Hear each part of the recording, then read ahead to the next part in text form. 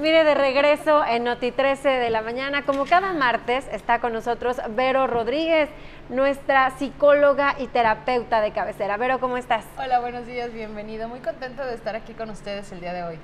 Gracias, Vero. Pues este martes para platicar acerca de un tema que pues a todo mundo nos aqueja o nos ha aquejado en algún momento, el tema de la ansiedad. es un concepto que se habla mucho, pero finalmente cómo podemos detectarla cuando nos sentimos cómo? Definitivamente en la parte física sientes que te falta el aire en el pecho, te pueden sudar las manos, escuchas y ves las cosas como muy a lo lejos y la ansiedad es este exceso de pensamientos y miedos que no sientes poder controlar y es demasiado lo que está en tu cabeza al mismo tiempo y de verdad que es un tema que al menos post-COVID todos en algún momento hemos sentido o experimentado. Post-COVID, o sea, se, fue, se recrudeció más de la pandemia. Sí. Pero regularmente se asocia entonces la ansiedad con temas negativos, con algún algo malo que esté sucediendo o vaya a suceder. Sí, de hecho tiene que ver con esas dos características, Andy, el miedo y lo que no conoces, es decir, el futuro. Eh, la ansiedad es este paquete en el cerebro de pensamientos que están creando constantemente cosas que no existen pueden ser eh, reales, pueden existir en un futuro, sin embargo, son tus pensamientos los que están eh, pues creando este constante miedo de lo que puede pasar o los distintos escenarios respecto a un tema. Por eso decía de que post-COVID, porque durante el COVID todos en algún sentido eh, tocamos o tocaron el miedo a la pérdida, el miedo a, perder el trabajo, a perder el dinero, a perder los ahorros, a perder a los hijos, a perder a los papás, a perder a los abuelos, a perder la relación de pareja, a perder. Y este miedo a perder traía eh, muchísimos pensamientos que te atacaban en esta ansiedad que es ver las posibilidades de lo que no es real. ¿Hay alguna semejanza? Porque de repente a mí me ha tocado eh, de manera particular escuchar, es que me va a dar un infarto, pero en realidad no es un infarto, es una crisis de ansiedad. ¿Cómo podemos detectar una, eh, con, alguna característica especial una u otra? Bueno, lo muy importante del infarto es que el corazón no duele. ¿no? Si puedes sentir en los hombres un hormigueo en el brazo izquierdo o en las mujeres en el abdomen. Es diferente y la ansiedad sí, la ansiedad se siente en el pecho, sobre todo en la parte de la respiración, como lo decía al inicio. Entonces, físicamente es muy diferente porque en un, un, infarto te puede llegar súbito e instantáneo. La ansiedad siempre tiene que ver con estar rumiando, con este constante pensamiento y, y generalmente la ansiedad está generada, vaya la redundancia, por cosas negativas, por algo que a ti te aterra, que a ti te da miedo, que te sorprende, que te llega de sorpresa de lo que no ha pasado, de lo que no es real. Aquí lo importante es que resaltemos y subrayamos que son los pensamientos. Es decir, si nosotros nos enfocamos en, el, en la respiración, la amígdala, que es una parte muy chiquitita del cerebro, se desconecta. Entonces, cuando nosotros estamos conectados con la respiración, dejas Ah, empieza a disminuir la ansiedad, como que cortas, no como, cortas este constante flujo de pensamientos negativos y entonces cuando tú logras respirar profundo, la amígdala frena y dejas de generar este tipo de, síntomas, la sudoración, la respiración, eh, que dices, me siento que me falta el aire, es ansiedad. Hay que tener eh, mucho... Ah, autoanálisis, autocrítica para darnos cuenta que finalmente pues, la ansiedad son provocadas por, eh, además de pensamientos negativos, eh, pensamientos y cosas que no han sucedido y que quizá no sucedan. o sea, es decir, nuestra mente nos juega eh, de forma adversa, nos mete autogol.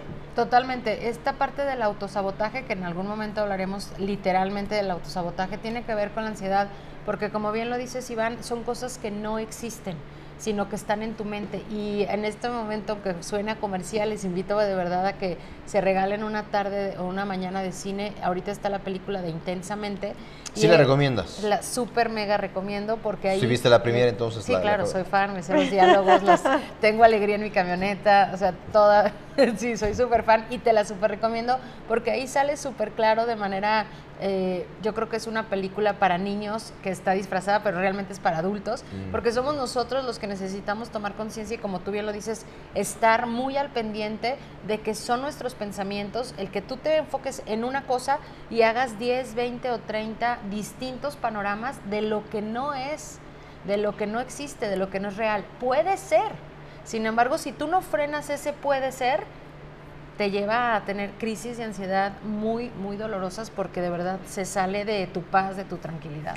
Oye, Vero, ¿se puede ligar el ser o estar en una situación negativa o hacer comentarios negativos hacia alguien y que esto nos lleve como en un círculo o como en una bola de nieve a caer en una en, en ansiedad o no tiene nada que ver? Cuando estás hablando del otro, no. La ansiedad tiene que ver con algo personal. Algo que tú no quieres que suceda o tienes miedo que suceda. Esas son las dos eh, vertientes por las que nos puede dar ansiedades. Esto no, no quiero que suceda o esto está sucediendo y puede empeorar. Y en ese puede empeorar es donde se suelta el hilo de media, ¿no? Es te vas, te vas, te vas. Claro.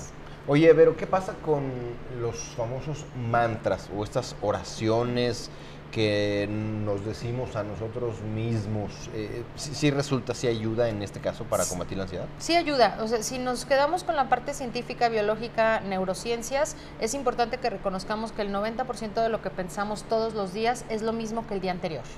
Eso es terrible, sin embargo es una realidad porque estamos repitiendo.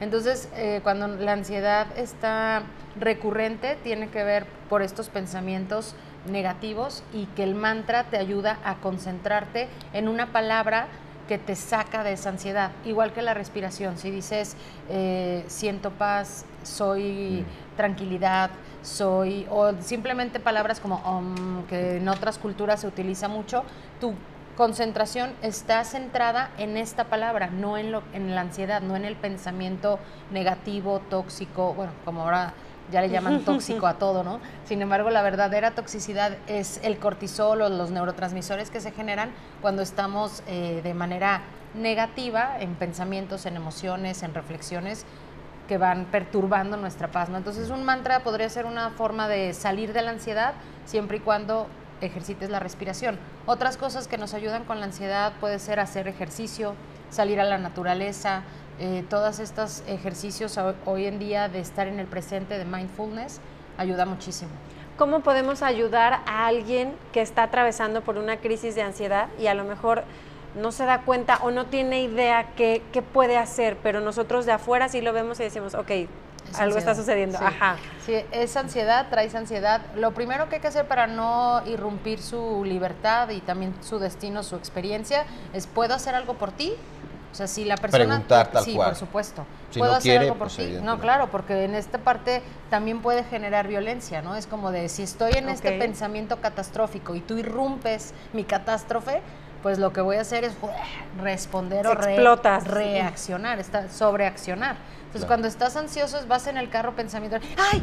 ¿no? Y pitas y te asustas o le recuerdas a la mamá al de al lado. Y entonces estas expresiones excesivas vienen de esta falta de concentración en el presente, en el aquí y en el ahora. Entonces, ¿qué puedo hacer? Es, ¿puedo hacer algo por ti? Sí, siento que me falta la respiración o me- traigo muchos pensamientos, estoy pensando en muchas cosas, no sé, me siento como raro, ¿no? Generalmente son como las palabras extraño, feo, todas estas cosas negativas y no dicen estoy ansioso. Entonces, lo primero que Claro. puedes hacer es decirle es ansiedad y lo que más te va a ayudar es respirar, ¿no? Porque a mí me pasa mucho en la consulta que les digo respira y la primera respuesta es de estoy respirando. Sí, ya sé que estás no respirando porque si no me muero, exactamente. sé que estás respirando porque si no te mueres. Sin embargo, no sabemos respirar.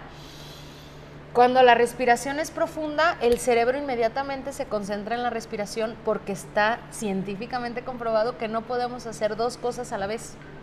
Si tú te enfocas en la respiración. Bueno, las mujeres sí. No, de hecho, no.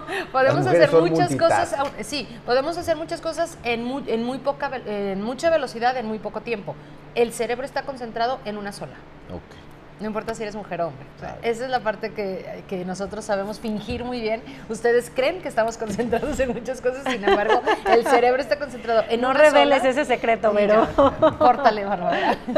sí, es muy importante que la concentración eh, sepamos que en, este, en el momento en el que el cerebro pone atención en una cosa, deja la otra. Entonces, si nosotros nos concentramos en un mantra, en la respiración, estamos haciendo ejercicio, no hay forma de que el cerebro esté generando catástrofe dentro si estamos concentrados en cualquier otra cosa que no sea eh, construir pensamientos. Esto es fundamental, construir pensamientos de, miedo de manera excesiva.